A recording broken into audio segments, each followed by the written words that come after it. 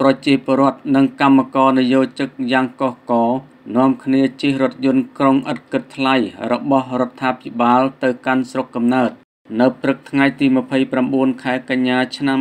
2024នេះប្រជាពលរដ្ឋបងប្អូនកម្មករនយោជិកយ៉ាងកុះករបាននាំគ្នាទៅទទួលយកសេវារថយន្តក្រុងសាធារណៈដឹកជញ្ជូនឥតគិតថ្លៃរបស់រាជរដ្ឋាភិបាលជិះធ្វើដំណើរពីរាជធានីភ្នំពេញទៅកាន់ស្រុកកំណើតនៅតាមបណ្ដាខេត្តនានានៅទូទាំងប្រទេសប្រជាពលរដ្ឋជាច្រើនបានក្រោករួតរះ តាំងពីព្រឹកព្រលឹមស្រាងស្រាងរួចទៅរងចាំនៅតាមទីតាំងចំណតគោលដៅចេញដំណើរដែលអាជ្ញាធរបានកំណត់ដើម្បីត្រៀមជិះរថយន្តក្រុង ទាំងទឹកចិត្តសប្បាយរីករាយប្រជាពលរដ្ឋកម្មករនយោជិកសម្ដែងក្តីរំភើបរីករាយបំផុតចំពោះការផ្ដល់របស់សម្ដេចមហាបវរធិបតីហ៊ុនម៉ាណែតនាយករដ្ឋមន្ត្រី នៃប្រជាណាចក្រកម្ពុជាព្រោះវាបានចូលរួមសម្រាលការចំណាយប្រាក់ក្នុងការធ្វើដំណើរទៅកាន់ស្រុកកំណើតពិសេសអ្នកដែលមានស្រុកកំណើតនៅបណ្ដាខេត្តឆ្ងាយឆ្ងាយលោកខួងស្រេងអភិបាលរាជធានីភ្នំពេញ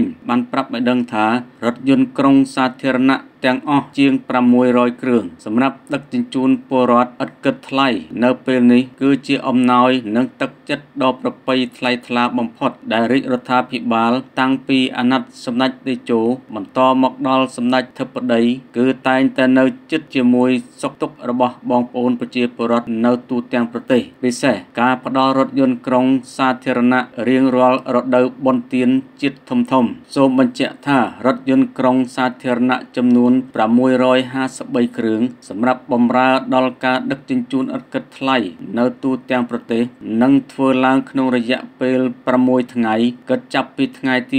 29ខែកញ្ញានេះដល់ថ្ងៃទី4ខែតុលាឆ្នាំ2024រថយន្តទាំង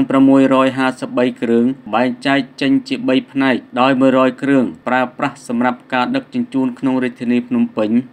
497គ្រឿងប្រើប្រាស់ការដឹកជញ្ជូនទៅតាមបណ្ដាខេត្តទាំងអស់ដោយមិនរាប់បញ្ចូលខេត្តនៅភូមិភាគឦសាន និង53គ្រឿងទៀតប្រើសម្រាប់ការដឹកជញ្ជូនទៅខេត្តនៅភូមិភាគឦសាន មានខេត្តមណ្ឌលគិរីរតនគិរីក្រចេះនិងស្ទឹងត្រែងប្រូវីដាទឹកស្ព្រីងបូកគោ